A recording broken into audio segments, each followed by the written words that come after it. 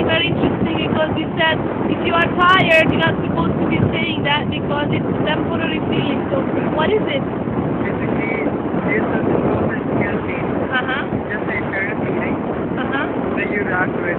So overstressed, you shouldn't be saying that I'm overstressed. Yeah. You won't to the city. Very good. So then we go into recovery mode.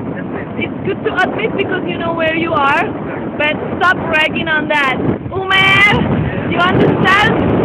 Okay. So this is the time. What we do here and what we practice is when something hard, and this is the situation, like then then you have a sense to practice like a real life situation. When it's hard in life, you also start practicing. If you breathe first and you stop reacting, you step back, breathe, and you just watch the moment, see what's happening, and you let it be, and will resolve itself.